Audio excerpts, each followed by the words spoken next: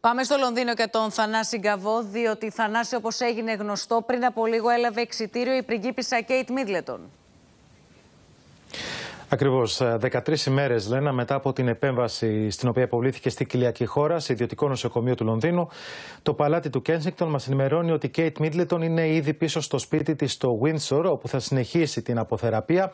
Σημειώνεται εκεί ότι κάνει καλή πρόοδο σε αυτή την πορεία ανάρρωσης και χωρίς να διευκρινίζεται πότε ακριβώς έλαβε το εξητήριο, το σίγουρο είναι ότι δεν έγινε αντιληπτό από τις κάμερες που περιτριγυρίζουν το νοσοκομείο. Σημειώνεται ότι το πριγκυπικό ζεύγος εκφράζει τις ευχαριστίες στο ιατρικό και νοσηλευτικό προσωπικό και την ευγνωμοσύνη στους ανθρώπους που έχουν στείλει τις ευχές τους από όλο τον κόσμο.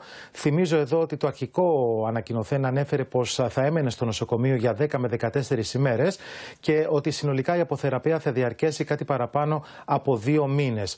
Στην ίδια ιδιωτική κλινική, ωστόσο, παραμένει ο Βασιλιάς Κάρολος, ο οποίος την Παρασκευή υποβλήθηκε στην επέμβαση για διωγγωμένο προστάτη.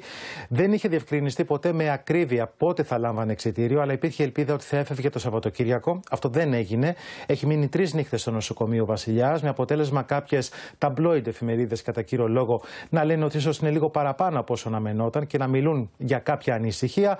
Από την άλλη πλευρά υπάρχουν πηγές που λένε ότι όλα γίνονται προληπτικά και ότι σε αυτές τις πρώτες ημέρες παρακολούθησης με τον τρόπο αυτό γλιτώνει το πήγαινέλα σε νοσοκομείο εφόσον χρειαζόταν ο Βασιλιάς, ο οποίος ξέρουμε ότι για τρεις με τέσσερις εβδομάδες θα απέχει από τα καθήκοντά του, καθώς επίσης ότι η σύζυγός του, η Βασίλισσα Καμίλα, ήδη αυτό το τριήμερο τον έχει επισκεφθεί 7 φορές κάνοντας του παρέα στα γεύματα.